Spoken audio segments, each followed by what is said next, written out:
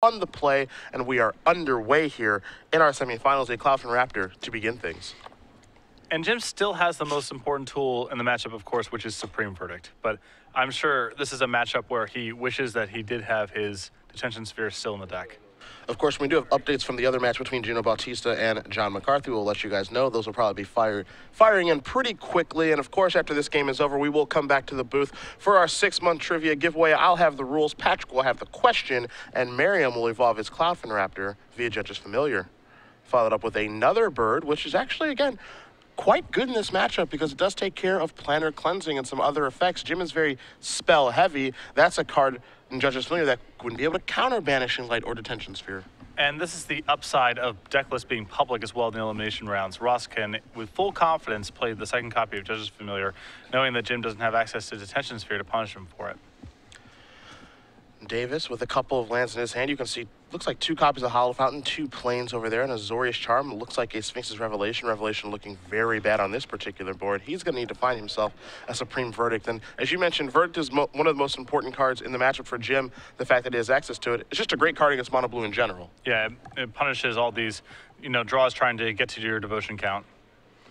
This is a Night Veil Spectre. It's going to evolve Cloudfin Raptor. An attack here for four is going to put Davis down to 15. Now the tension is really on Davis as, you know, he's under the gun here. Does draw a copy of Dissolve, but again, Judges Familiar making that look pretty silly at this point. And it looks like, based on how Ross is playing this game and the fact that he's mulligan, he seems to be saying, I can't play beat Supreme Verdict this game, and I'm not even going to try. Yep. And in for six we go now, does Merriam. See Davis with an Azorius Charm at the ready. Wonder where he's going to fire that off to. Redrawing Cloudfin Raptor is pretty bad. But I guess you could say the same thing for Night Veil Spectre, because Night Veil Spectre taking a card here is actually pretty good. It is risky to allow Ross to take a look at any card in Jim's deck, particularly when there are dissolves and syncopates that are quite bad for Jim if Ross reveals it to that Night Veil Spectre hit. Four damage is going to come across here. Merriam just going to play a land and pass the turn back. So if you're Jim, you're breathing a bit of a sigh of relief simply because your opponent does not have Thassa. On, you know, Master of Waves would have been pretty bad here too, all things considered. Davis going to play a copy of Jace, Architect of Thought. You know, this is another reason the matchup isn't that great for Jim is because he only has two copies of these. Yep. It's this showing up here is a big deal. For sure. Uh, Ross's draw is, even though it's very, obviously very poorly suited to beat Supreme Verdict, it's almost nearly as poorly suited to beat Jace, Architect of Thought. You see Ross is going to come across with all the creatures, make Jim remember the triggers for Jace. Jim will only take one point of damage. Merriam going to follow up with a Night Veil Spectre before passing the turn back over to Davis, who will take a draw. We'll see how he wants to manage his Jace. Draws a copy of Sphinx's Revelation. You see the Divination hiding out in his hand as well. If Jim were to cast that Divination, I believe he has to do it with five mana now, because I think that because he he has a Jason play and Ross has two copies of Judge's Familiar, Ross is incentivized to want to counter divination now. There is an argument for that. The other side of that is maybe Ross feels he needs to save his Judge's Familiars for something more threatening like planar cleansing, which Jim is building towards right now. You see Jim in the face of two Judge's Familiars says, all right, if you want to counter this divination, that's fine. And I actually kind of like this play because if Ross shuts off uh, the divination, he turns on Jim Sphinx's Revelations. Mm -hmm. You see Ross taking a look at his hand, taking a look at his board, and this is a real decision for him.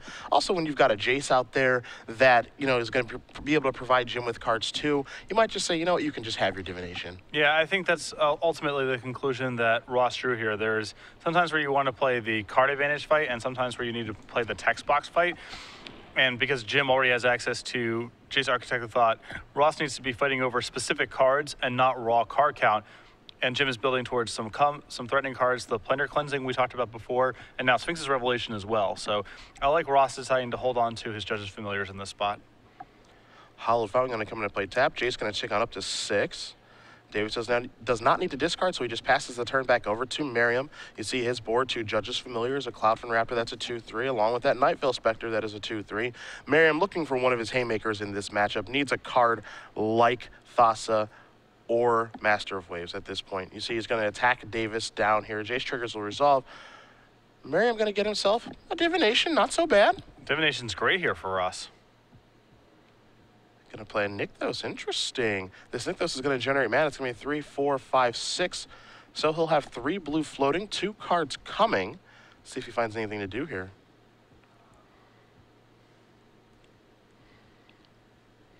And there, there's also a question of does he even want to add to his board at this point? Although I suspect the answer is yes. Ross can't really play around Supreme Verdict here. Jim has built up too many resources, so I think Ross has to almost just concede the game to that card and play as though it's not in Jim's deck. Merriam going to play his land for the turn, simply pass the turn back, so nothing really doing. Oh, he actually played Nick, though, so we rewind that action, and we do pass the turn back over to Davis, it looks like. Davis wondering how many cards do you have? The answer looks to be three. Now, one card that actually can play a pretty nice role here for Merriam is Hall of Triumph. Oh, yeah. Going to make those creatures actually relevant again and work through that Jace. A card that Mono Blue did not have access to before, but thanks to Journey into Nyx, Merriam is playing two of that card. You see Davis draw a card for the turn. Looks to be another copy of Hallowed Fountain. Also a Mutavault and a couple other lands hanging out over there. And this is a curious squeeze for Jim to be in because he kind of wants to minus his Jace and find Supreme Verdict and end this game. But if he minuses Jace and misses on Supreme Verdict, he's in a ton of trouble. And he's getting a lot of value right now by just plussing his Jace. So at what point does Jim actually decide to pull the trigger minus Jace in search of Supreme Verdict? And there's your Mutavault. Looks like Jim gonna tick up that Jace one more time, up to seven. The Cumberstone effect is happening. And he will just pass the turn back over to Merriam, who will untap those lands, as well as those creatures. He will take a draw here. Looks like he may have picked up another copy of Judge's Familiar. I'm with you in that Ross is in the situation now where he doesn't have much of a choice he has to, you know, just basically work his way through this. If he doesn't need creatures to cast, I think he has to cast them. Yes. Quick update for you guys in the backup match. Gino Bautista with mono red does win game one over John McCarthy, playing mono black aggro. Not too much of a surprise there. Again, uh, the mono red deck just a little bit leaner, a little bit more efficient. Uh, its removal is a little bit faster, and Searing Blood is a disaster for mono black. Oh, one heck of a magic card. Assuming your opponent cooperates with you, yeah, it's really good. Merriam hits an island off of the Nightveil Spectre and then does put that into play. And now he's going to go into the tank and see what he can figure out here.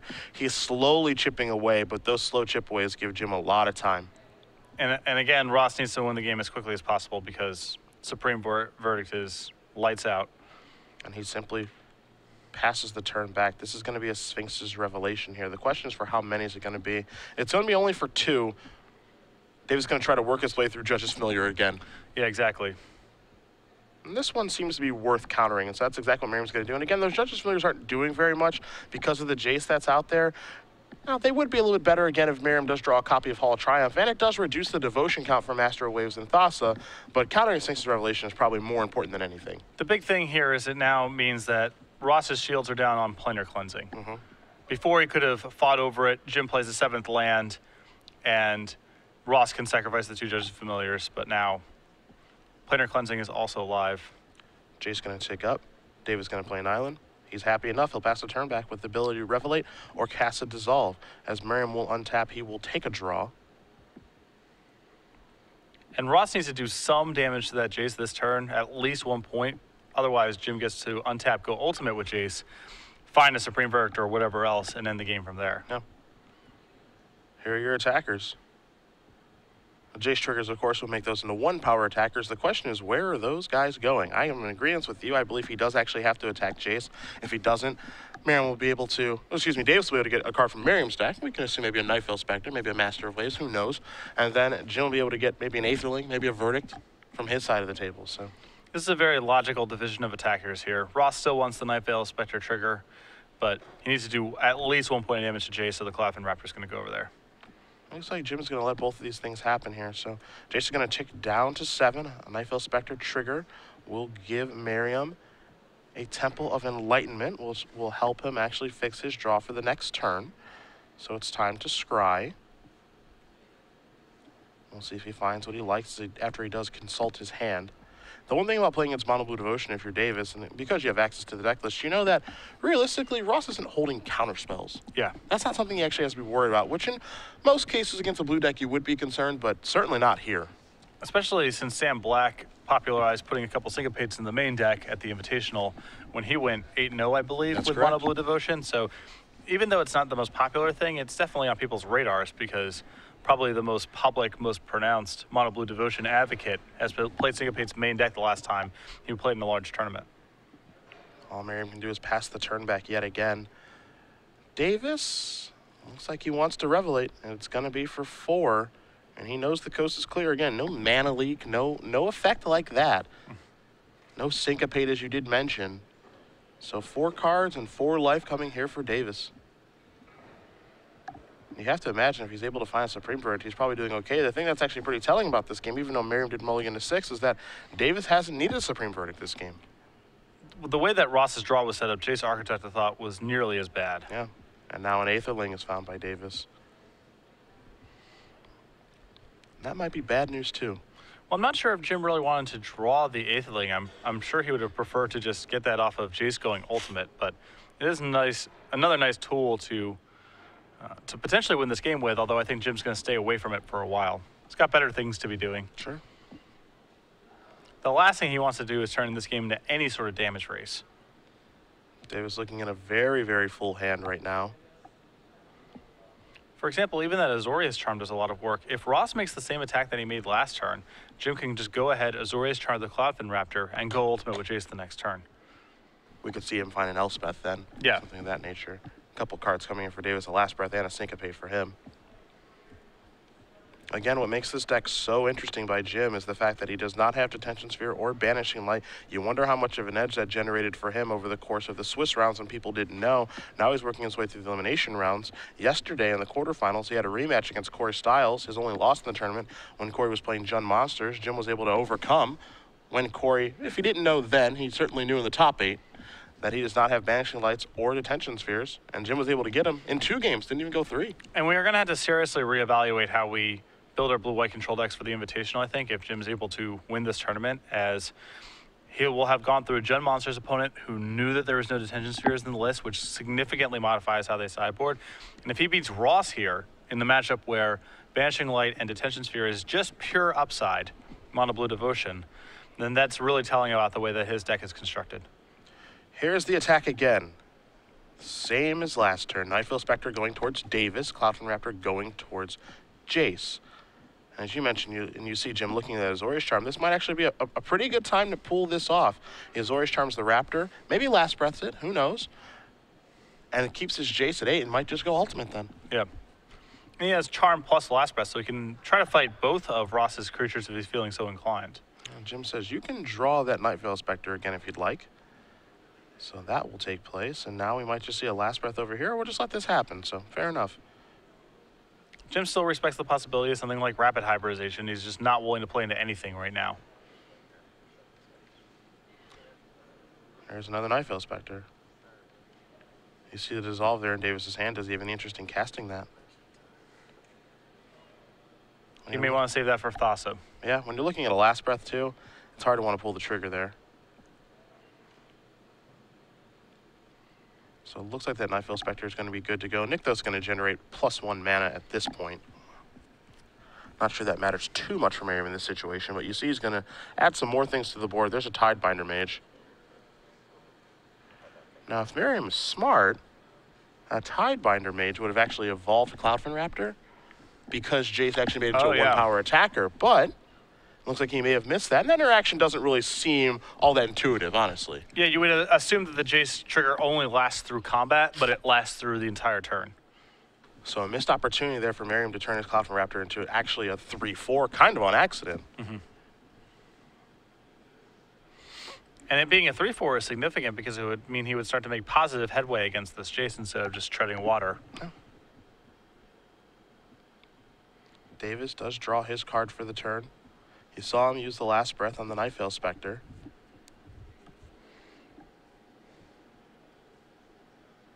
Hallowed Fountain in the hand right now. Are we taking Jace down maybe for the first time? Eh. Well, it still stays alive. and he is. All right. So what this means is he has no interest in trying to go ultimate here. Yeah.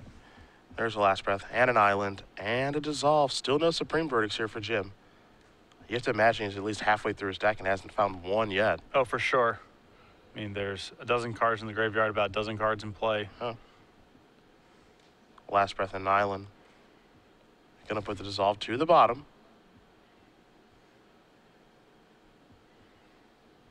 But that just means that Merriam doesn't know about the dissolve that's already in Davis's hand.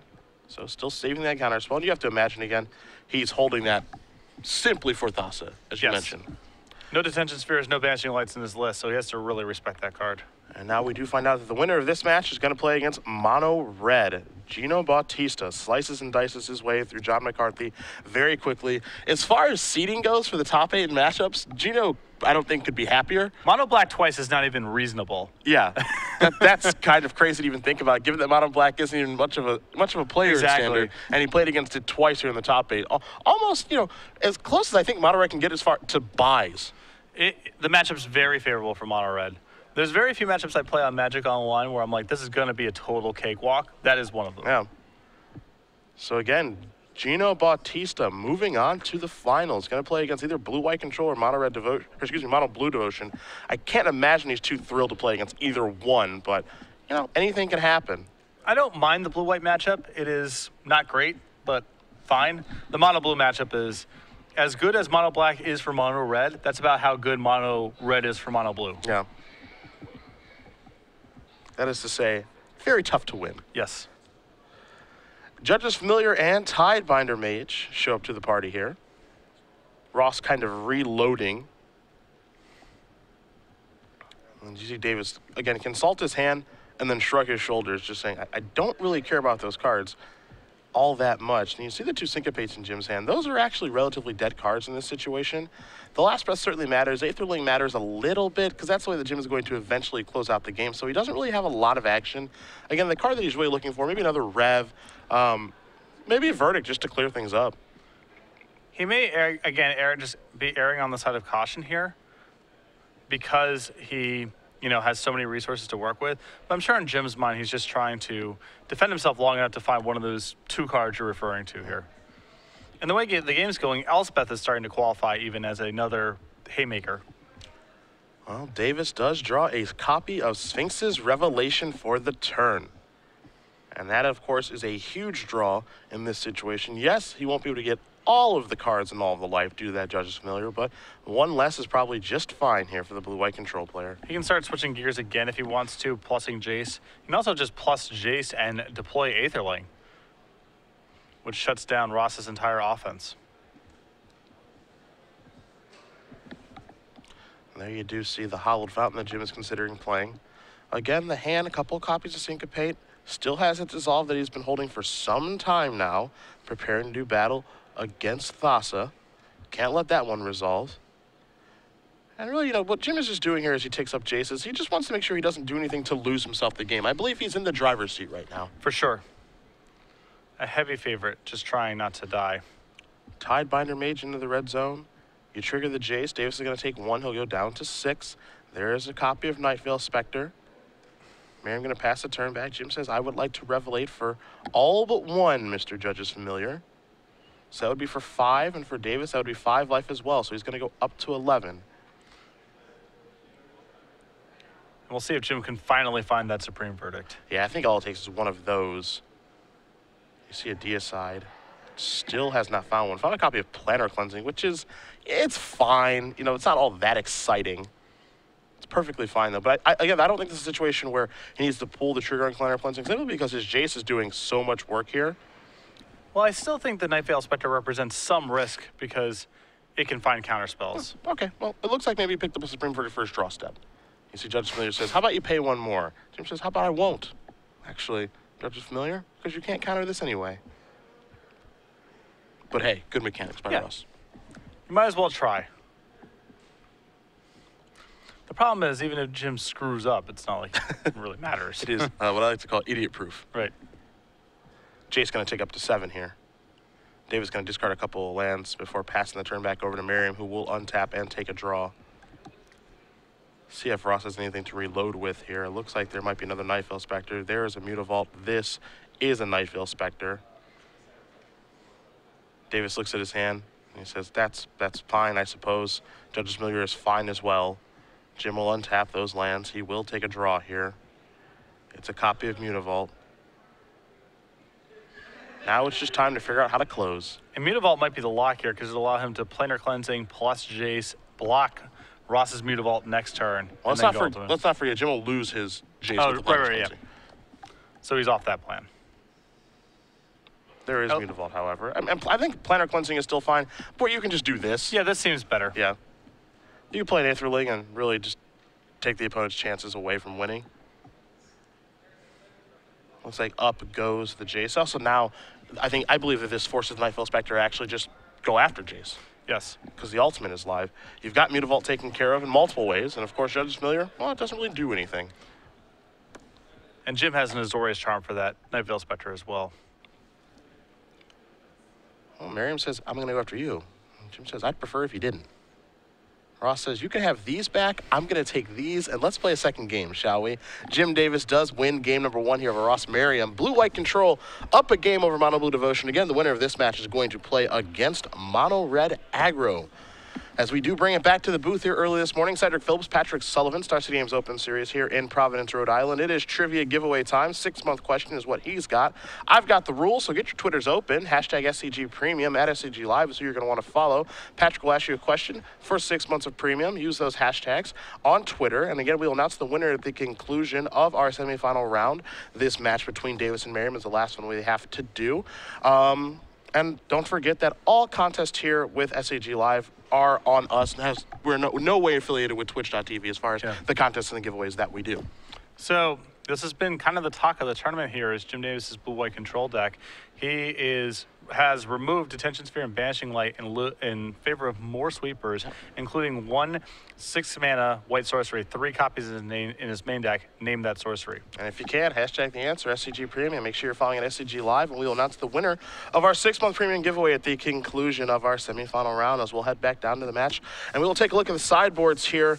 It took Davis a long time to draw a copy of Supreme Verdict, but Jace, as, as things kind of panned out, was awesome that game. It saved a thousand points of damage and drew ten cards or something. So Not bad. it was not bad for Jim's four mana. Yeah, not bad for one card. Uh, we'll look at Merriam's sideboard first. He's got a claustrophobia, two copies of domestication, a dispel, two dissolve, two gainsay, two negate, a rapid hybridization, a Bident of Thassa, two Jace architect of thought, and a Jace memory adept. Now, when we've watched Ross play earlier, he's been playing against either mono black or mid range green decks, where those counterspells have been basically useless. Well, things change now. This is the matchup where Ross is going to convert into something closer to a counter sliver stack, where he's going to try to win the game with one or two threats and back them up with counter spells. To that end, he's going to be bringing in the counter spells, as you mentioned. He's going to bring in the additional copy of Bident of Thassa and the Planeswalkers to be much more durable against the sweepers that Jim is bringing to the table. On the other side of things, you see the options there for Davis. Two Archangel of Thune, two Celestial Flare, a Deicide, two Dispels, a Gainsay, a Last Breath, two Negate, two Renounce the Guilds, a Reprisal, and a Jace Memory Adept of his own. You have to remember when Alexander Hayne won a Grand Prix a little bit earlier this year, Archangel of Thune was huge for him against Mono Blue. This is going to be the guessing game here. Is the Archangel is very good against mono blue in a lot of spots, but it is a juicy domestication target. Mm-hmm. And both players, again, deck lists are public. So Archangel, I'm sure, is in Jim's sideboard in part for this matchup, but Ross knows it's there. Does Ross bring in domestication? Does Jim not bring in this Archangel, anticipating that Ross will bring in his domestication? So there's that sort of guessing game. I think he's going to want to renounce the guilds as well. It's not the most powerful removal spell, but it is additional removal. and can tag Night Veil Spectre in some spots, which is one of the more threatening cards that Ross can bring to the table. He's going to want the additional Last Breath and the Gainsay as well. I think he's going to bring in the second Deicide. Yeah. Very good against Thassa. Also can answer Bident. There, there's some targets here. I think Deicide is very, very nice in this matchup. And I actually think that Deicide might be one of the reasons why Jim can get away with not playing Detention Sphere or Banishing Light. Now, I don't think that Jim built his deck with this matchup in mind because it was on such a uh, such a decline, excuse me. But the fact that he can Deicide a Thassa and that answers the one that, that Ross draws, any that are in his hand, any that are in his deck, just taking away that option from Merriam, is really just huge because Thassa is so good against Blue White. It is a bit of a hedge there. Although in that game, if Ross just went turn three Thassa, the game would have probably just ended. Much different game. It's it's not quite like Jim just has Thassa covered, but the main deck Deicide and then the additional one on the sideboard does give him a little bit of game. So we will see how both players do sideboard here. Again, the winner of this match is going to play against Gino Bautista, Mono Red Aggro. I'm sure it makes you happy. I'm pretty stoked. Aren't you happy? You and your red creatures in the finals. Pretty stoked. And pretty straightforward build of Mono Red there too. Just a bunch of uh, bunch of fours. It's a little bit bigger because it has Fanatic of Mogis, but outside of that, nothing too crazy going on. The thing that's interesting to me about Gino's list is the four main deck Boros Reckoners. Not a card that I'm really that thrilled with in the current metagame. You know, Gino's mana base, 19 Mountain, 3 Mutavault, so Boros Reckoners is not the most reliable thing to be casting. Mm-hmm. And it's a really juicy Abrupt Decay target. So that's not a card that I would be going out of my way to play right now.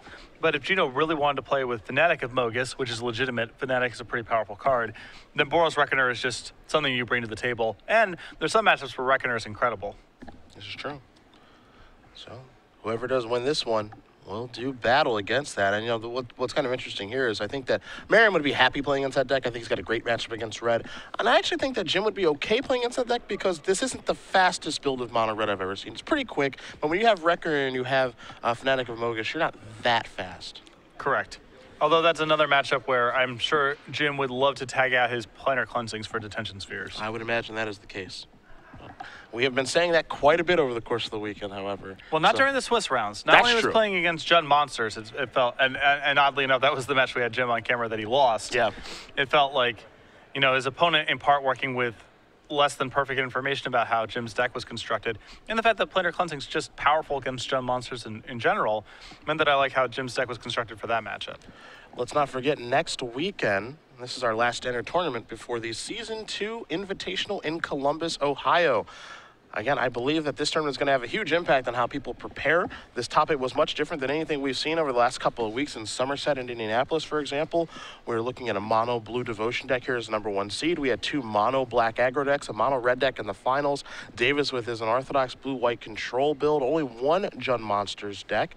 We didn't see any black devotion in the top eight. And heck, we even had a green white aggro deck as well. So this Yeah. is a very different top eight. Very different and very aggressive. And if you're preparing for that tournament next weekend in Columbus, as I know many are, you have to imagine this has really thrown them for a loop. It has been the weirdest top eight in standard in months, in my opinion, Yeah, I got to agree. and right before one of the biggest standard tournaments of the year. It'll be fun to see how people prepare Yeah. and how they do get ready for the tournament now that we have seen what has basically changed people moving towards more aggressive decks. And is this just a one week thing? Is this something that we should be doing as players moving forward? It's difficult to assess. I do think Mogis's Marauder is a legitimate card. It's very powerful, probably the most powerful enabler that Mono Black Aggro has. And it's a card that people need to start preparing for. It is quite good. Quite good. Merriam will be on the play here for game number two against Davis. You know, I, I typically expect, even though Jim doesn't have the normal build of Blue Eye Control, I still expect Blue Eye Control to win game number one. I think once Merriam does shift his deck into a counter Slivers esque deck or counter Cat if you're a new age player, then, you know, that's when things get more difficult. What is Counter Cat? Counter Cat is a deck that Josh Utter-Leyton got second at Pro Tour Philadelphia with, the oh, Wild Mikado oh, counter yeah, yeah, spell deck. Okay, yes. Come on. Come on. I expect better from you. Well, I assumed that it were, there's some sort of counter cat tribal deck because Slivers is a tribal deck. That's fair. Yeah. All right, I'll, I'll let you off the hook this time. There weren't like a lot of counter spells in his deck, but there were enough. Yeah, counter Slivers was, you know, that's there's a lot of counter spells in that deck. See, but I'm sure that most of our viewers, they don't.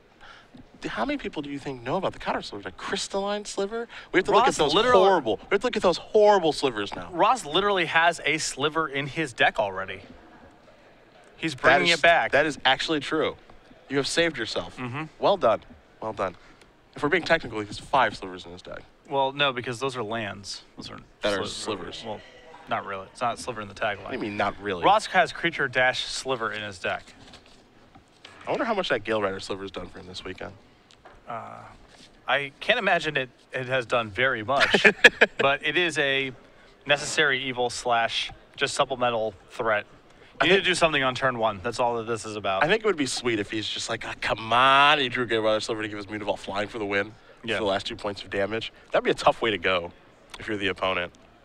well, no, Ross got, got paid off for the way that he built his deck. You certainly don't want the second Gale Rider sliver. That's true. They are on diminishing returns. Merriam is happy with his beginning seven. Davis will take a look at his. And we will see if we're going to be underway in just a moment here. He's giving a long look to that hand. You see a Supreme Verdict. You also see a Planar Cleansing. Jim, I believe, looking at his Warrior Skill Gate as his first land. Trying to sculpt things in his mind right now. Merriam kept his hand pretty quickly. And Davis will keep, so we're underway. Merriam with just an island. Davis gonna play a copy of Azorius Guildgate, pass the turn back over to Ross, who will take a draw. This is just a land and a pass, so not very aggressive out of the gate here for Merriam. And it's likely Ross has cut a fair number of his one mana creatures. Sure. This is a Hallowed Fountain tapped, passing the turn back over to Merriam, who will draw a card. We'll see if he's got a three. You have to imagine he will, and it's a good one there in Nightveil Spectre. Now we'll see if Ross is able to protect this threat. Jim could really use something like Last Breath right now. Davis picked up a Mutavault for the turn. You see his hand is pretty expensive. He's got a Divination hiding out over there. A Sphinx's Revelation, a Cleansing, a Jace. Can't forget about that Supreme Verdict as well. A few lands to play. We'll see if he does want to cast Divination this turn or not, because if he does, he would have to discard.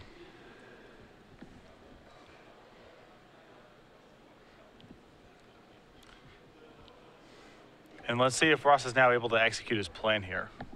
Because this Nightveil represents a threat just on its own that Ross is capable of winning the game with. Absolutely. It's no ribbon snake, but What is? this this is true. And Davis just passing the turn back. No interest in discarding. Now, what I find interesting about that is because I think that Jim's mana might be tied up for the next couple of turns of the game between Jason Verdict. So mm-hmm. maybe you're supposed to pick your spot there and just dividate and then have to discard a card. But then again, maybe not. You see Hallowed Fountain, the card drawn there for Merriam off the Nightveil Spectre. Davis goes down to 18. It's possible that there's also just too many threatening fours in Ross's deck, where Jim needs to keep up the illusion of there being a counterspell, all other things being equal. Bident of Thassa and Jace Architect of Thought are really bad for Jim in that spot, so uh, if he was close to divinating, the fact that he has to respect Ross's fours maybe le- leads him towards just holding up mana. Merriam just puts a Hallowed Fountain into play, tapped and passes the turn back. Again, because both players have access to each other's deck list, Jim knows exactly what's up here for Merriam, which is, all right, you're going to try to stick a threat, potentially two, and then hold up a counter wall. And I have to work my way through that counter wall. Now, I don't know if you have the counter spells or not. I don't know which ones you have because you just got a couple of copies, of, you know, a couple two ofs. But I have to work my way through this shield. Well, the total sum of the counters in Ross's deck is substantial. Yes. He has, he has quite a few. And you can see that Merriam knows exactly the plan that he's trying to execute here with these counterspells, which is just play a threat and pretty much try to protect it. Now, Supreme Verdict makes things a little bit difficult because it can't be countered, and here is a verdict to take care of a Spectre. But if you're Merriam, I imagine you're, you're okay with that exchange. And this is the contrast in the, the way that Ross's deck is set up game one versus post board. Game one, Supreme Verdict is, would have been unbeatable at any spot had Jim drawn it. And this game is just a one for one. Ross still has a full hand of cards. Merriam taking a look at the grip. He does have a land to play. It is an island. See what he's going to follow this up with. Just another copy of Nightveil Spectre before passing the turn back. Turn looks very much the same as Davis will untap those lands. He will take a draw. It is a Mutavault. Jim drawing quite a few lands here. Does make you wonder when he's going to fire off that divination. You assume he has to pretty soon. Well, now he is up to eight cards. Divination puts up to nine. I think he's he's trying to avoid discarding to hand size if he can if he can be helped. Again, Uh, also Jim has the incentive of just trying to keep up the appearances of him having a dissolve. Sure.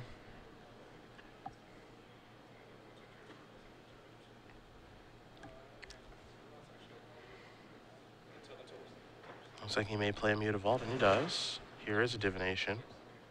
So, time to peel two, five cards in hand, so he'll go up to seven. And considering countering this, maybe. Or at least bluffing a counterspell. Yeah. I would be hard pressed, and it'd be difficult for me to imagine Ross countering a divination. See Davis just drop two lands, an island and an Azorius Guildgate. Yeah, those counterspells are really just the most valuable tool that Ross has in the matchup. He's not going to throw them away for very little. Davis already did play his land for the turn, so he simply passes the turn back to Merriam. Merriam will take a draw here. Nightveil Spectre ready to come into the red zone. That's where Ross will start. Davis going to go down 16. Trigger from the Veil will give Merriam an Elspeth Suns champion. And keep in mind, he does have a white source in play from Davis. Island for the turn.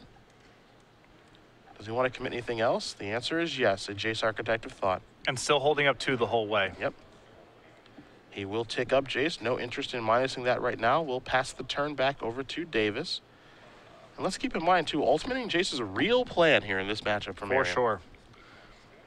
I mean, Jim cannot really be spending his mana and resources trying to attack down this Jace with his Mutavault, so it's going to be in play for a while. Archangel of Thune, the draw here for Davis, a real game breaker in this matchup. Now, again, if you're Davis, you have to be very cautious because you're trying to play through these counter spells. Does he want to tap five mana on his own turn to try to resolve this Archangel? Well, it, the counter spells that, that Ross has access to for this amount of mana do not touch the Archangel. It's Dispel, Gainsay, and Negate, so this is safe. The bigger risk is what happens if Ross has brought in Domestication? And now we'll see how this guessing game comes to a head here because both deck lists are public. Ross knows about Archangel and Jim knows about Domestication. Archangel of Thune plus an Azorius Guildgate was the play there from Davis. Does Merriam have the domestication? Does he need that, does he need to take down Jace to try to find it? You saw the game plan that Merriam was trying to use, and it was working fairly well, but it looks like some things have changed here for Ross. For sure. Down to three goes Jace. Couple of cards coming. A Nykthos, another Nightveil Spectre, and a Negate. None of those are domestication. We'll see how Merriam wants to, excuse me, Davis splits these. all three of these cards are, are fairly threatening. Although, assuming that the Archangel is good right now, Nightveil Spectre is much less threatening. Yeah, and Jim, Jim values negate the most highly of all. And apparently so does Ross. So that's what he will take. Other cards, of course, going to the bottom of the deck, Nightveil Spectre and Nykthos. Merriam has not played land yet, but he will right now. Four mana here. This Uh-oh. may be a Bident, this may be a Domestication, or just a Master of Waves, and a good one. You see the, the devotion count of six. So six elementals are going to head Merriam's way. And what he's doing now is he's forcing the hand of Davis of, all right, well, you better have some sort of, of removal spell. And we know that Merriam has a negate here. And if Jim has Supreme Verdict, he doesn't have enough mana to, left over to even attack down the Jace. So that's Mhm. still a threat that Ross gets to keep. So a whole bunch of elementals, excuse me, are going to show up to the party and pressure Davis here. So even though Archangel has resolved, Ross trying to put Davis in a difficult situation. And all he can do is pass the turn back over to Jim, who will untap those lands. He will take a draw here with just an Archangel in play. We know the Planar Cleansing's in grip, and he picks up an island for the turn.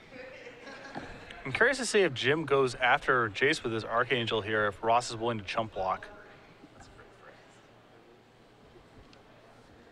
Because Jim is not necessarily dead to this board. I mean, he can attack the Jace. That either compels a chump block with the Night Veil Spectre, or Jim loses the, or Ross rather loses his Jace. Jim wants to, he can even grow the Mutavaults with the Archangel trigger on the stack. So even though Ross's board has a, a lot of stuff on it, it's not it's not enough to just win the game on its own, even just based on what Jim has on the board. Yeah. And Jim, of course, has seven cards in his hand. So when we watched Ross play against Green White Aggro, this kind of setup was just game over. Uh, against Jim, it's a much harder slog. Though, of course, negate complicates things significantly. Absolutely.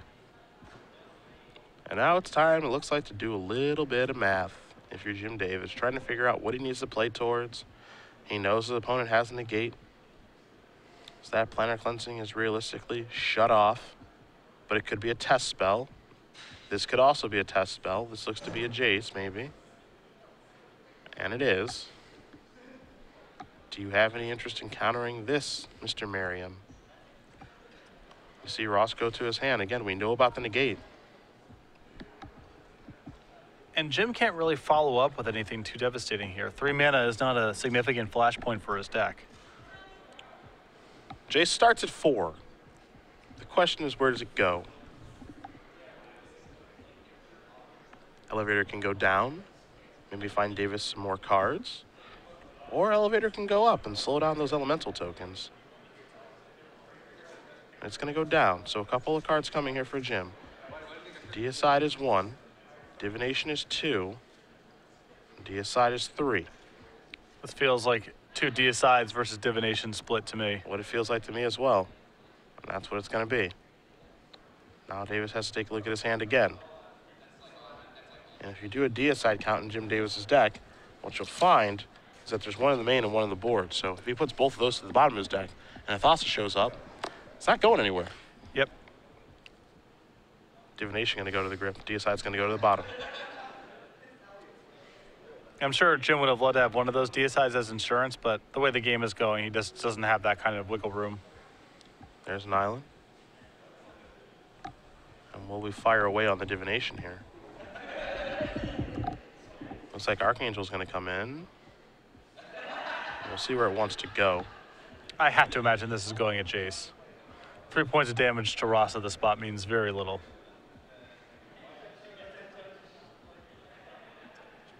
And to Jace it does go.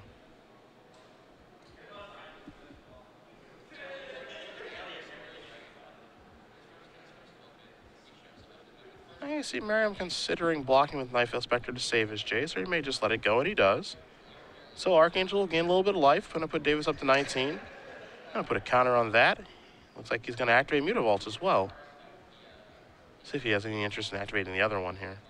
I Looks think he the answer is no. I think he just wants that Mutavault back on defense. Fair enough. A 3-3 matches up very nicely against Ross's board right now. And not only does that take care of a creature, but it also stops Master Waves from attacking. Yeah. So it's actually pretty good there.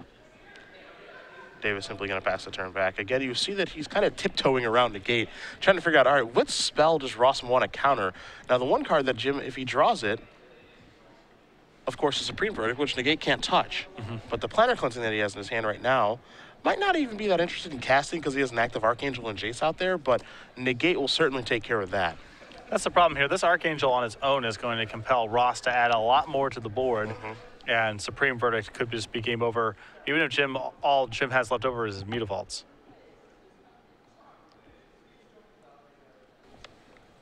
Well, you see Merriam organize those creatures. The one horse in front, I think he knows that one's going to die to Mutavault. Mm-hmm. So now you might be trying to figure out, all right, how do I send towards Jace? How do I work your life total? Master of Waves is off to the side now, so I don't think that's coming in. I mean, Ross could just send two of the horses at Jace and everything else at Jim. Jim only has one block. With the, with the man available, he has a block or a last breath.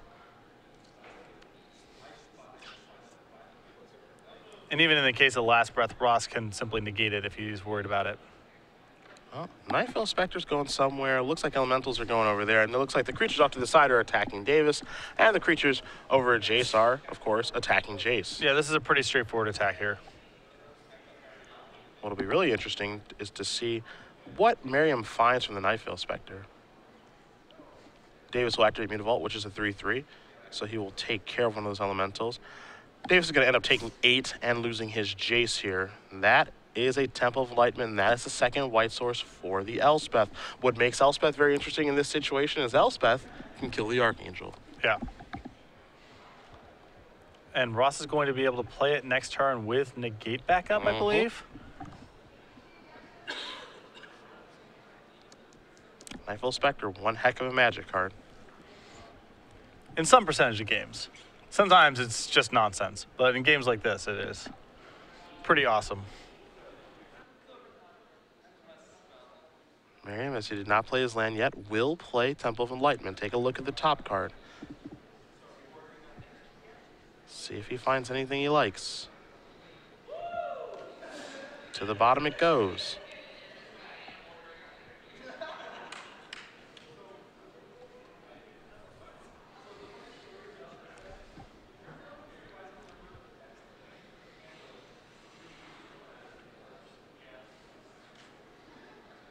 And Ross can create quite a wall for this Elspeth too after the fact. Oh, for sure. Yeah. But Elspeth is going to be great. The question is, what else does Merriam have in his hand? You see the Jace right now. We know about the negate. Looks like he may want to deploy another copy of Jace. That looks to be the answer. So there is Jace. He's going to spin down Mutavault, Thassa, and an island. Let's keep in mind with this Thassa, Ross knows that both those deicides are on the bottom of the deck. Uh-huh. He knows that's the way the Jim gets rid of it. Now, I don't think he'll tap out for Thassa this turn. No. He wants to leave up that counterspell. Davis gonna untap some lands here now. Ross has put him in a pretty difficult situation, coming from a lot of different angles. And that's what he's trying to do post board. He can't be all in on just the creature plan. Planar cleansing number two, the draw here for Davis. See Jim looking at that divination. It might be time, you could argue, to throw this first planar cleansing away. I think there's an argument for him to try to set up a Sphinx's Revelation at the end of Ross's turn, too. This is true.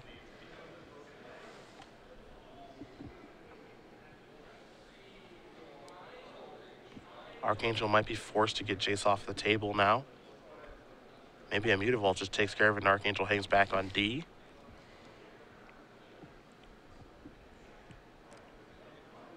A lot of options here for Jim. Yeah, Ross is probably not chump blocking with Master of Waves to keep his Jace around. Mm-hmm.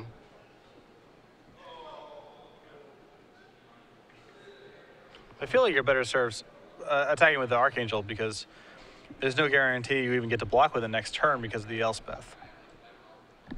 That's true. That's true.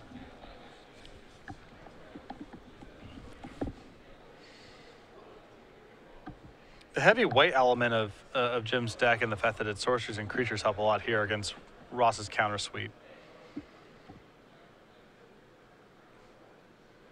As he's on Gainsay Dispel, it's three of his seven counters at least.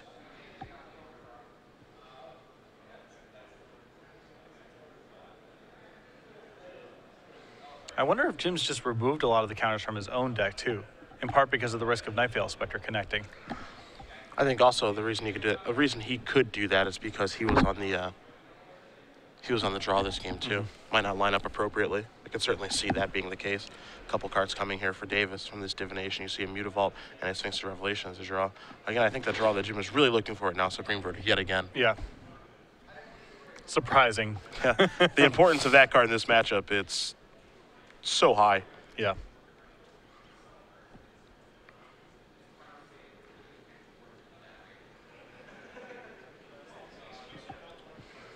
So let's see what Davis wants to do now.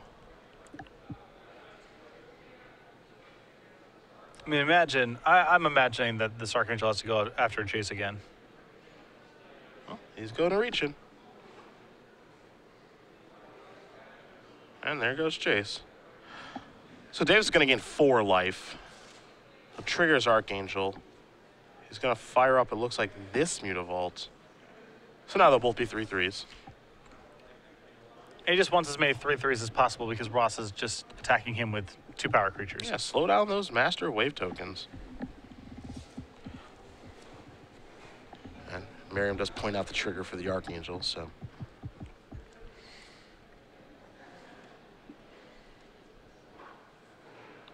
And Davis has not played a land just yet. He can play an untapped lands and have planes. And have these mutavaults back on defense. And what those will effectively do is kill two, kill two attackers and stop Master Wave from attacking as a result. Mm-hmm. So now Merriam's going to untap all these creatures and all those lands. You see the Frostburn Weird in his hand? He will take a draw. We know about the negate. We know about Thassa as well. We also know that Jim is without his deicides. Mm-hmm. These sideboard games, they will not be quick. No. That will not happen here. There's a lot of posturing. Mono Blue can't kill very quickly after sideboard with how Ross has his deck and his configuration.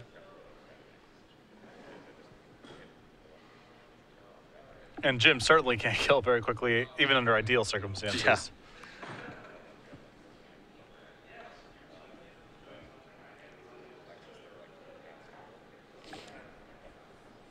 Looks like he's going to go reach in here.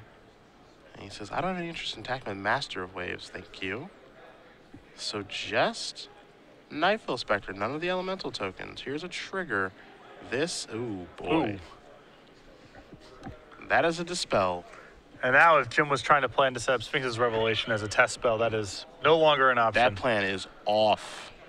Here's Elspeth. That is going to tick down and take care of the Archangel. This is where things get really hard now because Merriam has negate plus dispel mana. We know he has negate in his hand. He's got a dispel underneath the Spectre. And Jim might just have to try to slog through these counters the hard way. Just cast planar cleansing, say go. But Jim's light total is also fairly low at this point too, so spending mana that way is rough. What's really interesting again is that if Jim draws verdict, things change so much. He verdicts away this board. He fires a Mutavault to take care of Elspeth. Mm-hmm. He's actually doing really good then, but he's not been able to find Supreme Verdict. Now, Last Breath will take care of those elemental tokens, so he may have effectively done the same thing. But then again, you know, Verdict can't be countered, and this certainly can be. So, I mean, Jim did find one Supreme Verdict this game, but to Ross's credit, Ross's game plan forced him to use it just on Nightveil Spectre on turn 4 Mhm. And it felt like then that if you're Merriam, you had to be happy with the exchange. Yeah. Jim has four aces in his deck. It's those those four Supreme Verdicts. Anytime you get him to trade it for only one card, you have to count that as a victory. Jim's gonna do some math now. And again, this could just be posturing here, bluffing, something of that nature, doing a lot of math and counting. I believe that he's obviously working through his decisions, but Merriam doesn't know the cards in his hand, has been provided with that knowledge. So he doesn't know about the cleansings that are there. The thing is, Jim needs to sculpt out the next three or four turns. Oh, yeah. Because he needs to, at the end of all of this, he probably needs to get a planar cleansing to resolve. Mm-hmm. So he needs to find a way to test spell Ross and put pressure on him on different angles to ultimately try to get a planar cleansing to resolve. Not the easiest thing to do. As good as cleansing is, and as good as it probably has been for him in this tournament, it is a six mana wrath effect. Yeah. A six mana wrath effect against mono blue devotion is not the best place to be. Would you prefer to simply detention sphere away that Nightveil Spectre? Quite possibly. There's Negate to take care of that. Davis just passes the turn back over to Merriam. Merriam will take a draw here in just a moment. Again, we do know about the Thassa. That is in Ross's hand. And now with Jim having access to just one copy of Mutavault on defense, it wouldn't surprise me if he were willing to send his elementals into the Mutavault. Merriam is going to play a Thassa pre-combat. He's going to make his Master Waves unblockable, and everybody's coming into the red zone. So you see the math here. How much damage is going to come across? Looks like an 11 spot. Mm-hmm. Mutavault's gonna go live. It's gonna block something. Ross is ready for damage. And Jim is going to use this mana to cast a last breath on something. Jim, but Jim knows it's going to be Yeah. countered, so that doesn't matter. Get past that point in the game. So all this damage will be dealt. Davis is going to go down to one, trigger this. Azorius Guildgate underneath the Spectre. Merriam has not played land yet this turn, so the Guildgate will come into play. Elspeth is going to take up three soldiers here in just a moment. You'll notice among all those tap permanents, there are three that are untapped an island, a Temple of Enlightenment, and a Hallowed Fountain. That represents a counterspell, and I caught a glimpse of Ross's hand. He does have one in Dissolve. Dissolve might be too much for Jim to beat this game. Without a Supreme Verdict, the answer is, I believe, yes. I think even with Supreme Verdict, he would be in some trouble. Yeah. Now that Thas is in play. This is true. And Davis is going to go reaching for this mana here. He wants to set up a Mutavault attack. Here's a Planar Cleansing. There's a Dissolve. Jim will take a look at his hand, and he's going to pick up his permanents. Ross Merriam's going to win game number two, an excellently played game number two to his credit, and we'll head to a third one. The game plan right there for Mono Blue Devotion. Never extended too far into sweepers. Had counterspells to protect him from the worst thing that Jim could do. And Jim was just never able to extract much value. You know, he's not able to Supreme Verdict and kill multiple creatures. It's going to be hard for him to resolve Sphinx's Revelation because Ross has so many counters to fight over that. A lot of Jim's best tools just don't work the same way in games two and three as they worked in game one. You do see the sideboards here for both players. Don't know how much is going to change on the play or the draw. Yeah, but you see them both going back to the drawing board and analyzing the deck lists here to see if there's anything that can help them or changes for them. I'm curious if Jim brought in the Renounce the Guilds. We saw him go through a fair amount of his deck there without seeing one, but Renounce seems very good against Ross in this matchup. It is a cheap, efficient removal spell that answers one of the more troubling cards in the matchup, which is Nightveil Spectre. Yeah. It's not going to answer Night Spectre 100% of the time, of course. Ross could muck it up with Judge's Familiar or Frostburn Weird, but there's enough targets to make Renounce a desirable sideboard card, in my opinion. As these players do finish up sideboarding, we will resume play in just a moment here. Again, the winner of this match will play against Gino Bautista, but we do want to talk to you guys about our newest addition to the Creature Collection series. There is the little Acorn Mystic. Look at that guy. Hard to say no. Hard to say no. You got a play mat, you've got a dice bag, you've got a deck box, you've got sleeves, and of course, two Acorn Mystic tokens with every entry to our Legacy Open Series events beginning June 13th. That's next weekend when we are in Columbus for the Season 2 Invitational. It'll be fun. I love seeing these things come out. I can't wait to see what the next part of these will be. Of course, we're wearing our Squirrel Storm pins, mm-hmm. so I imagine that these will probably become a pin at some point as well. Yes. So that'll be fun. So definitely check out the Creature Collection. You guys can buy these again beginning June 13th on StarCityGames.com or any Star City Games Open Series event that you do attend. A fine addition to the Star City Games Zoo. We do have a little zoo here, don't we? Basically, a little animal park. Yeah, I like it. Yeah, we talked about this yesterday. I think uh, the hippo line is what I'm going to talk to uh, the powers that be at Star City. Yeah, next. a a big-eyed, bushy-cheeked hippopotamus ripping a boat of tourists full, uh, a, a boat full of tourists into two, as they sink into the water, terrified, would be an awesome token. That'll be hippo size. Hippo size. That's what that card would be with called. buyback. I like it. Yeah. I like it. I'll have to talk to again the powers I'm that be to yeah, get the I'm hippo not an line. artist. I, I qualify all of this. I'm not an artist. but I do have a creative vision where I believe I could give the template to our artists and then create some pretty awesome stuff. Yes, a hippo attacking a boat is what I would like. Yeah. Okay. Okay. The humans need to look terrified. they may also be wide-eyed and bushy-cheeked. Oh, much like the hippo. That's Exactly. nice. That's nice. Really opening up the flavor there. I like Yeah. that. All I can do is give the inspiration. Has there ever been a giraffe in Magic? I, I imagine, I would assume Mirage had one. Yeah, I think. Yeah, I guess that would be the case. I would guess. I know there have been elephants, of course. Oh, all sorts of elephants. My favorite being, I believe, the rogue elephant. Rogue elephant's not bad. I like War Elephant a lot. What does that one do? Is it band? Arabian, the Arabian Nights one. The banding? Yeah. Trample banding, Nice. which is not a great synergy because I don't think it graphs keywords on the things that it bands with. Which Oh, is if just, you'd like to spend a few minutes explaining explaining banding, by all means, I we don't have that much I time. implore you. we do not have that much. Do time. whatever you'd like. I'll give you as much mic time as you need. So you can make a band with on offense with any number of creatures with banding and up to one non-bander. When your opponent blocks a band, you are allowed to assign damage as you wish amongst your band. Keywords are not grafted unless they are shared by all creatures, which means that if I attack you with two banding creatures with flying and one non-flyer, you may block with your non-flyer. On defense, you may band one bander with any number of non-banders and block as one unit and distribute damage again amongst your blockers as you wish. There's also about a dozen other smaller nuanced part of these rules. Uh, it's really the only it's really the only fatal error in in alpha I think is banding appearing at common. Richard Garfield and his team showed a pretty mature understanding of game design in a number of elements throughout that set. Banding at common is a failure because it is really hard to explain. Yeah, I don't really, I don't really even know what you just said, as far as those banding rules go. Those were in one ear, out the other. So you attack as a group. Oh, we're gonna do this again. Well, the simplified version Ah, of it. okay. You attack as a group. You can have one non-bander in a group. Any no- number of banders may be in a group. Only one non-bander. Okay. When your opponent blocks, instead of normally your opponent assigns damage however they want to, you assign damage amongst your team.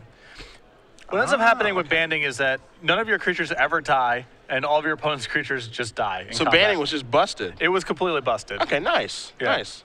Because you could also assign, it's you know, if you block my band with a 7 7, I can say, put all 7 damage on my 1 1, and that dies. And if you block my band with a 5 5, I can go, I'll put 2 damage on my 3 3, and I'll put 3 damage on my 4 4, and nothing dies. Ah, yes. And this is back when no one had any idea how to play Magic. So banding was just, don't bother blocking, all your creatures are dead, and don't bother attacking because again, all your creatures are dead, and none, none of mine are dead. So I think we should bring banding back. Enough of this constellation nonsense. Yeah, Give me some banding. it is really hard to figure out. both from a rules perspective and then in practice. Between that and Rampage, I remember that. Well, Rampage is uh, Rampage is pretty simple to explain. If there's any mechanic in Magic that needs to be punished, it is double blocking and triple blocking because it happens all the time and it's really frustrating. So Rampage means that your guy survives double and triple blocks. Oh, okay. Fair enough. I, I'm trying to think of the R and D conversation that led to Rampage. Some guy just keeps losing to this guy's double block deck. He's just so frustrated. No more. I just wish I had some creatures to go to when I play against the double block deck. Problem solved. Here's a Craw Giant. Yeah, here's a car. Wrathy Berserker, or whatever that guy's name is. A very fast mulligan for Jim and for Ross. So neither player happy with their seven. They're going to go down to six here. I think Craw Giant is like is my go-to Rampage card. I think it's the I can't remember the the first name. I think it's Wrathy, but the Berserker. He was triple red two for a two three with Rampage three. He was a turd, but back in the day, he was extremely popular and actually fairly expensive, all things told. He was something like an eight or a ten dollar uncommon. Nice. I had one of them in my deck. It was not very good. But it was on a Rampage. It was Wrathy Berserker. Wrathy Berserker. Look at you. Mm-hmm. Could not, could not tell you my own blood type, but I do have all these. I do have all these memories from my childhood. I do generally enjoy that Craw Giant is very difficult to cast at three colorless green, green, green, green. Well, A seven mana six four. if you know, you want to give people the tools to beat the triple block deck, but you don't want them to make them so easy that they're all over the place. Ah, so they have a cost. right. Okay. A seven mana six four trample Rampage two. Yeah. Nice. That is one I played with many a time at the kitchen table back in the day. Uh, Marhault Elsdragon was another guy that I had. I think he was a heard of rampage. it. I think he's a rampage one guy. Okay. Um, he was pretty sweet. But he just had halfway decent stats for his mana. By which I mean it was like a six mana gold four five or some such. Oh, okay, sure. But back in the day, it was Those that, were real stats. That back was in the day. yeah. Was it Shivan Dragon or Fat Moti? No, but those were ten dollars, Yeah. and Marhault Elsdragon was less because he was in Chronicles. So The Moti. ah, man. memories. The Moti was one of my favorite cards back in the day. Mahamoti Djinn. Six mana, five, six flyer. Yeah, game over. Okay, And you, you can't win, opponent. yeah, good luck. And that card actually continued to show up to com- in competitive Magic all the way into the 2000s. Yeah. There were various, you know, mono blue tempo strategies that played Mahamoti Djinn to beat fires. Simpler times. The best of days. Pretty good days now, though. Yeah. And true. Davis going to take a look at their six cards. Creatures are better, spells are worse. Yeah. That's probably for the best. After playing with, uh, you know, some of those throwback standard decks yesterday, spells were absurd. Yeah. Here's a judge's familiar to begin things for Merriam. Again, both players here on six cards. Davis, you see, with the planes. He has a divination. He has a last breath. So he may be forced to last breath this judge's familiar simply so he can, if he does draw a land, he can cast divination. That's exactly what he's going to do. Get that thing off the table. Jim's hand has a really nice curve if he finds a third land. He gets to divinate and then start casting stuff. So uh, that judge's familiar messes up a lot of things. He did not draw the land, however. All he can do is pass the turn back over to Merriam. Merriam draws a card. He plays an island. This is Nightveil Spectre, much like what we saw last game. Davis will draw another copy of Supreme Verdict. Well, he's got plenty of those. He doesn't even have an Azorius charm in his hand. He has nothing to protect himself from this Nightveil Spectre. In for two. Trigger. A land, of course. So insulting. Yes. A lock of the century. Now here are Jace's. Merriam going to take this down. He wants cards. He wants them now. An island, a Jace, and a Frostburn Weird. Oofa. Jace is on its own. And oh yeah. Merriam's going to take that, knowing that he can cash in his other Jace. And then play a replacement Jace on the next turn. Davis takes a draw. This is a land. It had to be this turn for Jim to have any chance. I still suspect too much damage might be done here, especially if Ross can minus his Jace and then cast his other Jace next Uh-huh. turn. Divination, gonna draw Davis two cards. Deicide and a Temple of Enlightenment. Jim looking at his hand, do I have to discard? The answer is no. Merriam is gonna untap. He will take a draw.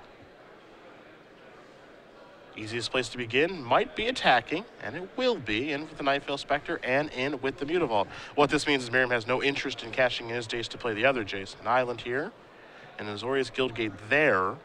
Jace will tick up, and Merriam will represent counter magic. Over to Davis we go. Ross must have quite the hand and not even be interested in Jace Jason this spot. Mutavault the draw here for Jim. Can't cast a Supreme Verdict. We saw him cast it somewhat in this situation last time to take care of a Nightveil Spectre, and he might be forced to do so again. I don't think his hand lets him really do anything else, but uh, again, this is another highlight to how the matchup changes post board, where the Supreme Verdict is something that Ross, it's still bad for Ross in a lot of spots, but he at least has a game plan he can sculpt to try to beat the card.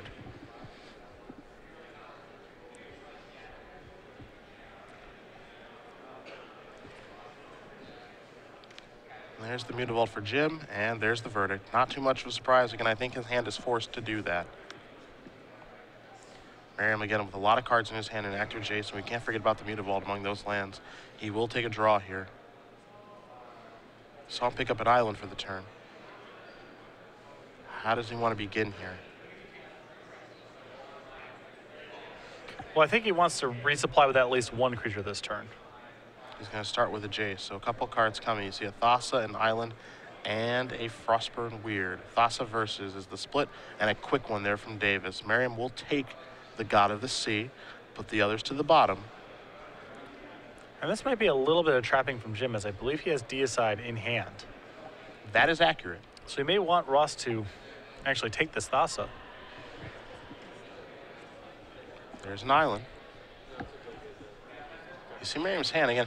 Even though he is ahead and he would like to press his advantage, he can't get reckless. Yes. You know, he needs, he still needs to play the same game that he did last game, which is, you know, pace the game in such a way that the counter spells are absolutely backbreaking. And I don't think Ross is getting ahead of himself here. I think he's aware of Jim can definitely come back from this spot.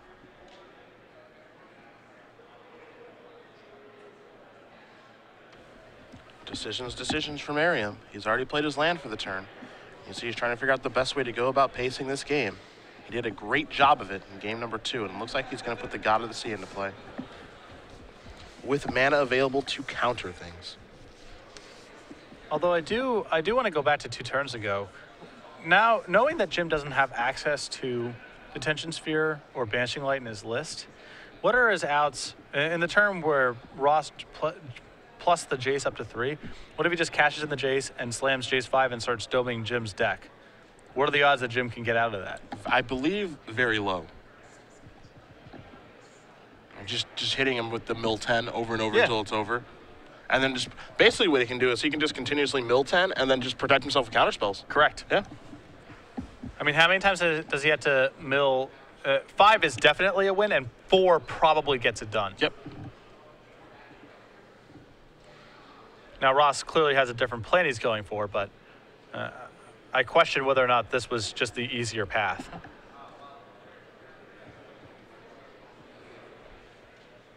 Temple of Enlightenment will be what Jim plays for his land. He'll take a look at an Elspeth. I don't think that one has much of an effect on the game right now. It's hard to put Elspeth away because it's so powerful. Well, it's not castable is part of the problem, Yeah. too. I mean, Jim can cycle the Azorius Charm in his hand, but Might want to use that in a different way. correct.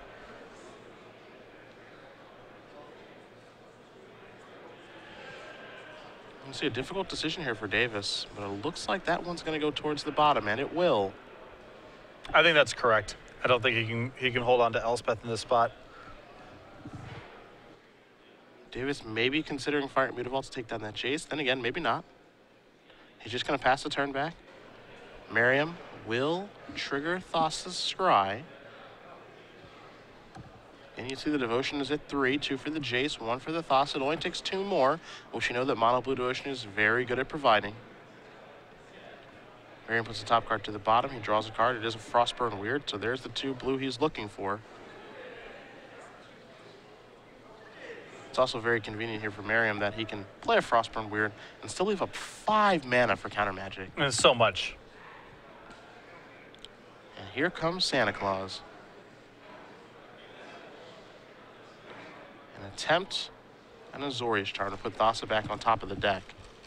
And Jim's trying to do a little baiting here where I think he assumes Ross will fight over this, and then maybe he can get his Deicide to mm-hmm. resolve. Mm -hmm.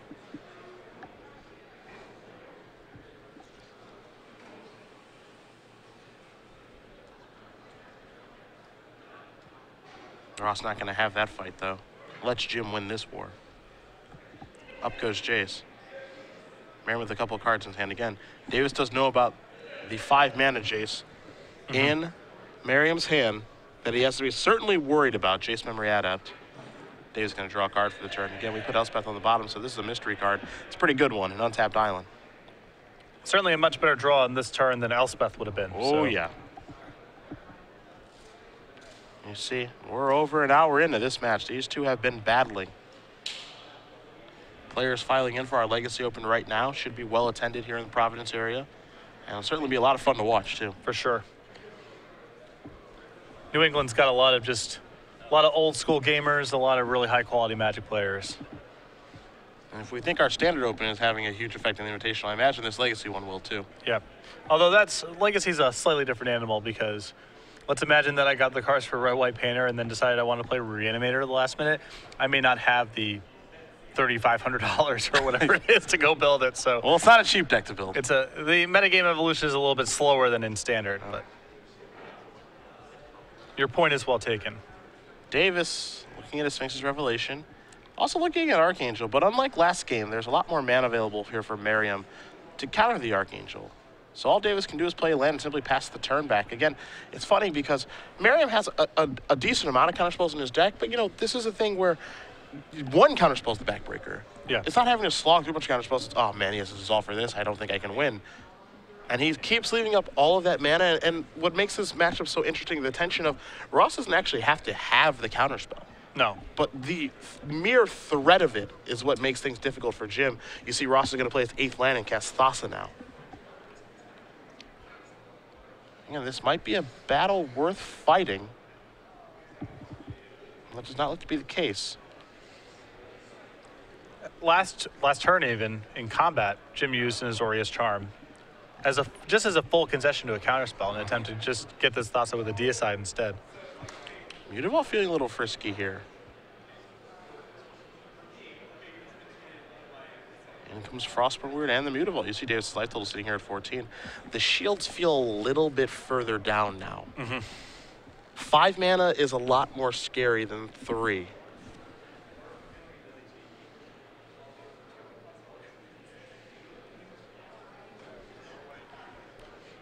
It makes it much more likely that it's just one counterspell in Ross's hand instead of two. Yes. Davis He says, could still "Okay." have dispel plus gainsay slash negate, but Maybe we're going to take his Jace up to three. I think we might see some action here from Jim on the end step. Could very easily see Deicide plus Dissolve here be the battle that we have.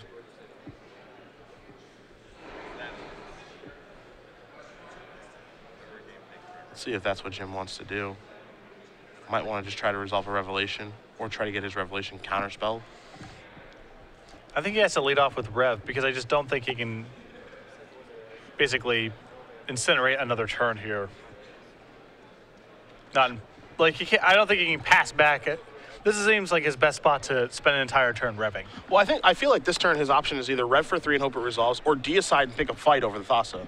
He can end step deicide, and he has he has a dissolve, and so we can have a little bit of a battle here. If he loses the battle, which I don't think he will, but if he loses the battle, then he can say, okay, fine, tap all my mana and revelate on my own turn while your while your shields are down, and we can see what happens. But right now he's just going to choose to rev for three, and we'll see if Merriam has any interest in countering this. I like this play a lot from Jim. I believe this revelation for three is just good enough to counter. Yeah, I think so too. And uh, if Ross doesn't fight over this, great. Jim's happy with that. And if he does, then you're free to say resolve Deicide plus Jace or whatever next turn. You see Merriam looking at his hand. Like you said, this is the revelation that is just good enough to counter. So if Ross is holding on to only one counterspell, this is a really tough call.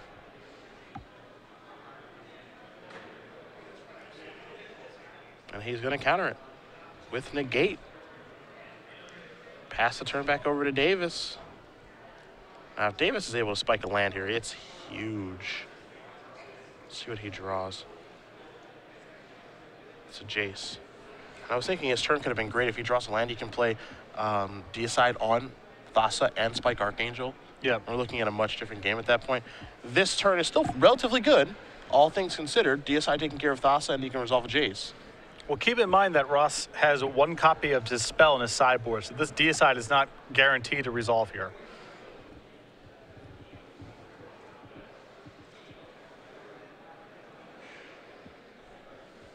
What do we do if we're Davis? Do we have to deicide now? Do we lead with Jace? You see him reaching. Looks like he's gonna lead with deicide, targeting Thassa. Do you have a dispel is the question. The answer is no. He's gonna see the grip. Night Veil, Spectre, and Jace. A lot of weakness there from Ross. Now the green light's on for Jim. This is an imminently beatable hand for Jim. So now all the Thasses are gone. That problem is taken care of. And Jim sees exactly what Ross is up to. And I'm with you, where Ross had the opportunity to resolve that Jace Memory Adept, did not take it. Now, that might be coming back to hurt him a little bit. Now that bit. assumes he had an untapped land in his hand on the fifth turn, which I believe he did. I do but I'm not. I'm not 100 percent on that. But again, against the opponent with no detention spheres, no Mutavault in play, really far away from casting Archangel, I do not quite understand what the risk is. Either way, all Thasses are gone. Merriam will shuffle his deck. Jim will shuffle it again, of course, as well. But Deicide doing some really nice work. And this is actually the first time that we have seen Deicide take care of all the gods. Yeah, That's part of the power level of that card. a coverage first for me. And then you do see Davis's hand right now, the dissolve, the verdict, the Archangel, and that Jace that he just drew this turn. Feels like a Jace probably comes in next. And Jim, if he wants to, can actually play Jace and plus it, which survives Ross's board, and may compel Ross to play further into the Supreme Verdict that's in Jim's hand. Absolutely.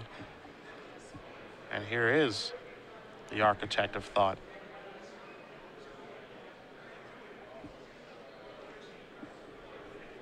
Again, Merriam's hand right now, and he's going to take Jace down. So there you see another copy of Deicide. Follow that up with an Azorius Guildgate, and now an Azorius Charm. Again, Merriam's hand, Nightveil Spectre, and Jace Memory Adept. With a mystery card coming for his draw step. There's your split. Of course, one Deicide is good, which Jim's already cast. The follow-ups aren't great, but it can't take care of Bident of Thassa. Yep.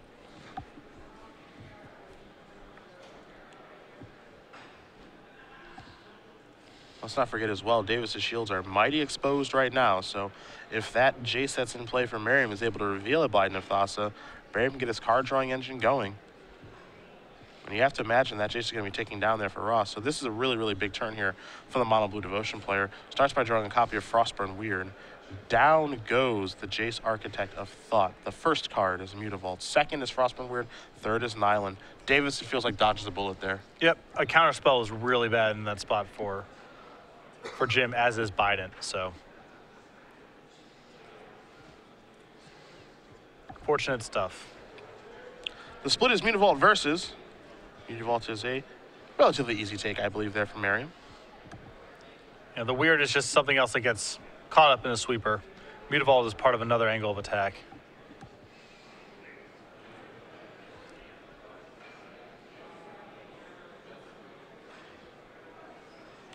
So what will the follow-up play be? Looks like an activation of Mutavault here. You have to imagine that Merriam wants to get Davis's Jace off the table. Such a powerful card. Yeah, get letting Jim look at three more cards here is unacceptable. And in comes the Mutavault at Jace, Frostburn and Merriam. Any pumps to be had is the question. Again, Merriam really can't bluff all that much. No, not not. I mean, his Jim knows everything about his hand except for one random draw, basically. Yeah. There's your pump for four. Merriam's going to put Davis down to seven. There's a Mutavault. And simply pass the turn back. Does not have any interest in playing the Nightveil Spectre. So Davis will untap. Seven lands. Take a draw here. We'll see what he can find. Picks up an island. That's a pretty big draw, actually. That's land number eight, so Archangel with protection. And that could be the start where where Jim starts to get this swung around. And you see Davis's hand. He's had that Supreme Verdict for some time now. The thing is, once he casts the Archangel, the cost of playing the Supreme Verdict goes up so much. Yeah.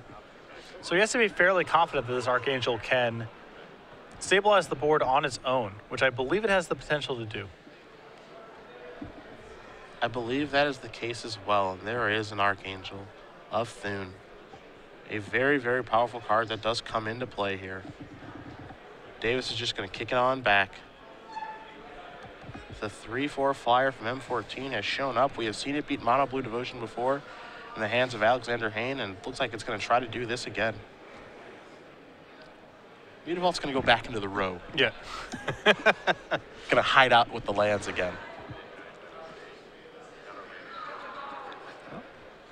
Any trades to be had?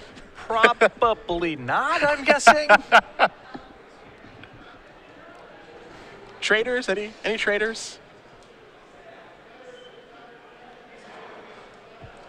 Although maybe, I mean, again, Jim's life total is slipping. Activations one at a time there for me. I'm going to turn his Frostburn into a 4-1. Davis is going to go down to 3. Jace's going to tick up here. And Merriam with the Frostburn Weird Nightveil Spectre. Looks like he's going to add a little more to the board.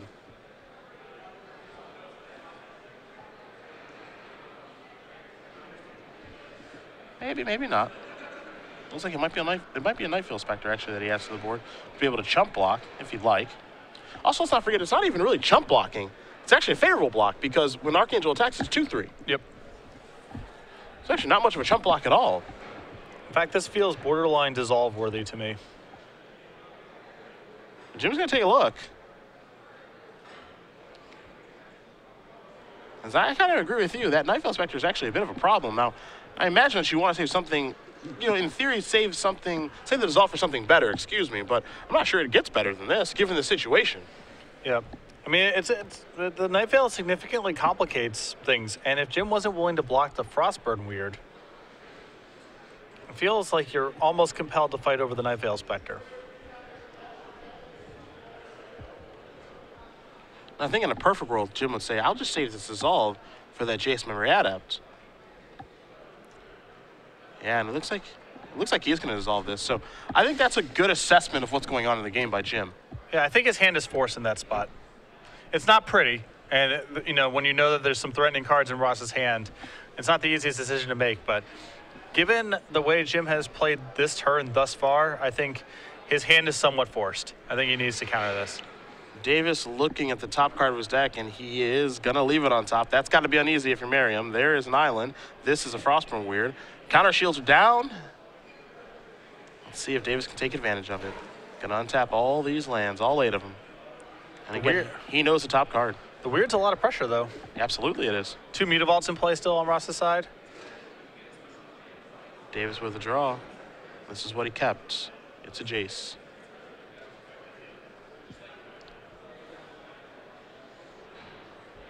So he has enough mana to grow a Mutavault. After he hits with the Archangel, play Jason plus it. And also block with the Mutavault the next turn. Jim goes up to five in the sequence. The Mutavaults are three. And the Weir can hit for a maximum of. All right, so there's still lethal in play, I believe, on Ross's side next turn.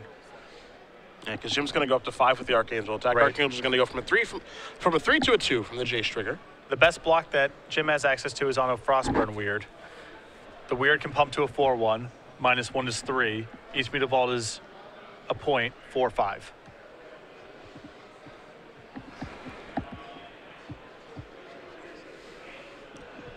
And Jim can't animate his Mutavault, hit with the Archangel, and then Supreme Verdict, leaving a Mutavault back, a 3 3 Mutavault on defense, because the Mutavault dies to the Supreme mm-hmm. Verdict. So. You see, he's really moving now. Trying to, trying to do some math here, trying to figure out what he does to get himself out of the situation. Doesn't seem like a great spot to be in. Well, what he can do is just Archangel on to Jace. Yep. Get it off the table. Cast Supreme Verdict. Yep. Play Jason plus it. The next turn, he gets to untap with Mutavault in play and a can plus. The Mutavaults can no longer attack. And if Ross misses a couple draw steps, he can start to pull back into the game. Let's see if that's what the conclusion is that he comes to. see, he's doing the math, and this is going to be the start. Here's an attack. You see him slide it over. It looks like it's going towards Jace. Now, what's going to be really interesting, of course, is how much life does Jim gain here? Because it should only be two, and it will be, okay? Yeah. Because it's on roster, remember, his Jace trigger. And we're in, we're in a lengthy match here. Right. So, I mean, we're approaching minute 90. Yeah. We've been going for a while here.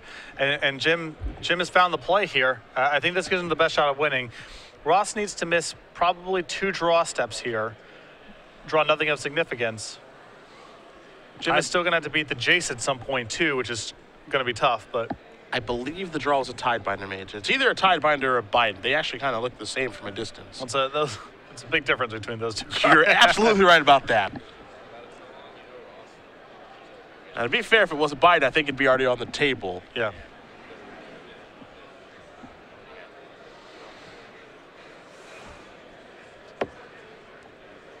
See, Merriam's going to do a little bit of math here. Again, one card that we do know, and uh, this it is this math. Is How that- many cards are in your deck math? He's asking for the count. Yep. We want to know how many cards are there, because I am on the plan to now start milling you with Jace. We know how many from the spotter, please, because it is public information on both players. And Ross appears to be potentially looking to shift gears here, which I like just because uh, it, it the game is starting to feel like it's going to be hard for Ross to deal the last five points. That Jace is going to be problematic. Ross doesn't have any real backup threats. That's in. Will he mill or will he draw a card? 38 cards right now in Jim Davis' stack, by the way. And he will mill a card and draw a card. Mills a planes. The draw's a mystery. Mutavaults are ready. And they come. You have to imagine not going after Davis's life total, and they are. Jace Trigger is going to make it, so it's an attack for two. Davis is going to go down to three and untap all those lands. Merriam's shields are down outside of a spell, which is what Davis draws. Now, if you're Davis, this is where things get a little interesting. Do you take up or do you go down? Uh, he might need. I think like he. I think he needs help here. Because he can take up and those mutavaults are bricked. Yes. But that doesn't solve the problem that's over there on the table, which is Jay. So he is going to take down. So we're going to take a look at it. Okay. An Elspeth, a Temple of Enlightenment, and a Mutavault. Elspeth will certainly change some things. Assuming Jim takes it, which I believe he will here. Because he also needs to be able to threaten Ross's Jace. Yeah, I think that's the I think that's Yeah. the reason he has to take it.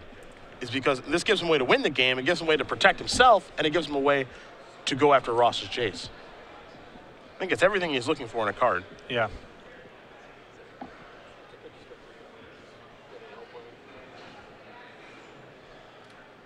Merriam can't be too thrilled about that reveal. Now he's trying to figure out how to split things up. Again, Merriam is unable to bluff counter magic in this situation. One blue is only dissolve. Excuse me, is only dispel. But Mutavault's pretty threatening for Ross here, too. I don't think he can split Mutavault against. Oh, wow.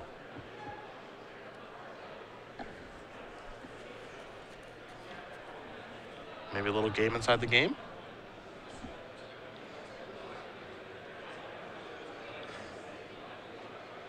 Wow. I guess you can split Mutavault against. Just did.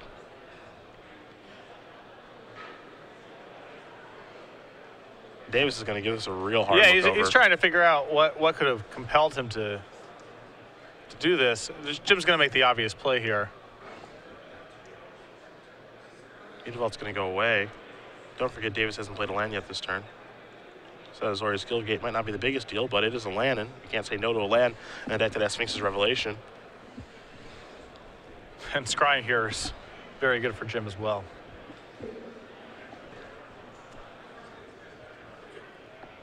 So there's a temple. Let's take a look. Didn't get a great look at it, but he's going to think about it. And he's going to keep it. There's that sinking feeling. I need the following players to please report to the stage. Aramis Puello, Here comes another one. Brian Green. There's the Suns Vidal champion. And Nick Ambrose. That elevator goes up to five. Three soldier tokens coming. Aramis Puello, Brian Green, Any attacks with Mutavault to be had here, you think? Maybe slow down that Jace? I don't think so. I think it's it's really good for uh, Jim to leave his mana up in this spot here. And what does knocking Jace down to three really do? Sure. Here's a bigger question. Do you think Merriam on the last turn should have drawn, or do we go after that library? 38 cards when he played the Jace Memory Adept. It would take him four activations to get the job done. Yeah, and possibly three. It's possible. It's possible three gets it done. yeah.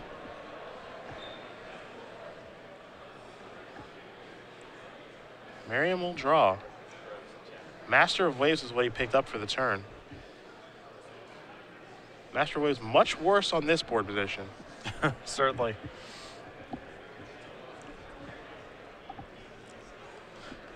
And now it almost feels like Ross can't pivot now that he's gone down this road with the Jace. I, I- I think to, to keep up in the resource battle that Jim's starting to win, he may need to draw cards. So, Suppose you can make the argument here that between these mutavaults, the Master Waves that was just drawn, he's also got a couple of other knuckleheads in his hand. he may just be able to play defense long enough. Protect the queen. Yeah. There's a mill of 10. He may have to pivot with no with no choice but to pivot. Yeah.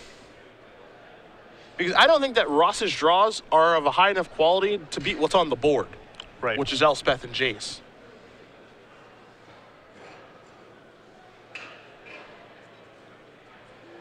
Now Merriam's going to start tapping some mana. Nightveil Spectre is where he's going to start. Jim will take a look at his hand again. Dispel and Deicide are the cards over there. Nothing relevant going on for Davis. Miriam, of course, doesn't know that. Four mana, Master of Waves. Jim looks again. You see the devotion. It'll be for six. And some Mutavault's back on defense as well. And just might be chump block time. and just hope that Jace Memory Adept can barely hang on. Uh huh. Davis takes a draw. A temple. Not the most exciting, especially when you know you're going to be getting milled. In one way or the other. yeah.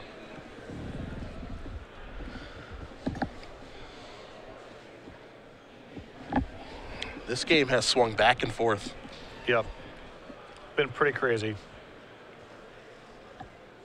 An hour and a half these two have been battling. Gino Martinez, excuse me, Gino Batista has been waiting patiently. He was done in 15 minutes, I think. Yeah, been just waiting with Mono Red. Who am I going to get to cut up in the finals? We'll see. Yeah, he's been sitting there the whole time in the feature match area. He hasn't left. Hope he brought a book. Yeah, he's been watching this match just like we have.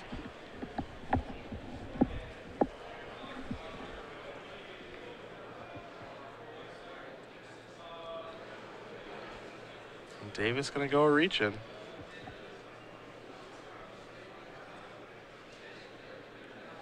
Trying to figure out exactly how he should use these planeswalkers as well as the cards in his hand. One thing he can do this turn is he can play Temple of Enlightenment Today's Legacy Open. and then he can draw he can flip the cards over essentially drawing the card that he wants the card that he's Right. looking at is planar cleansing which is a real weird one right now because i don't think that jim wants to cast that card because his board is so good but at the same time he might have to to get those things off the table and by those things i of course just simply mean jace memory adept Yeah, and then it's his one meter Mutavault against Ross's two with Jim at three. Yep. So he needs help from there. things just got more complicated if that was even possible So now Jim has to decide if he even wants planar cleansing. yep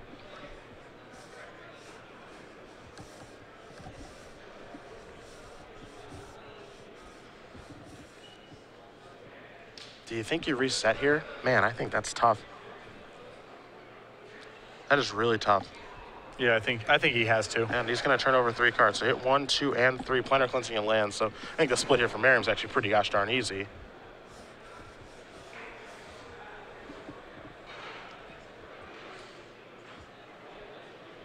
So if Jim does take planar cleansing, he will have a Mutavault back on defense. There's your split. There's your take. Lands are going to go to the bottom. So he's already used his Jace, and using an Elspeth right now doesn't do anything because he's going to lose it. Mm-hmm. So the one thing that he can do, is, of course, is just attack with these soldier tokens.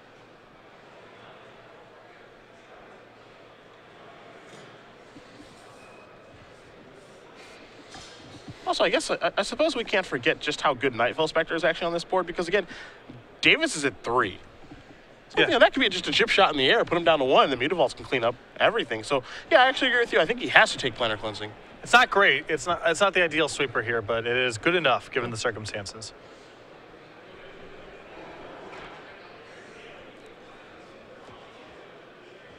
You see Jim doing this math really quickly, and I think the the option here is all right. Let's let's blow it all up. Yep. So away goes everything, except for probably the most important cards that are among the lands. Two Mutavaults for Merriam, only one for Davis. And Ross is really getting paid off now for that that split earlier. Yeah, this is true. Jim had a planar cleansing away his own Elspeth. How valuable would a second Mutavault be on Jim's side of the table? Huge. Be huge. Here come Mutavaults. They'll trade. Davis goes down to one. Let's see what Merriam's follow up is, assuming he has one.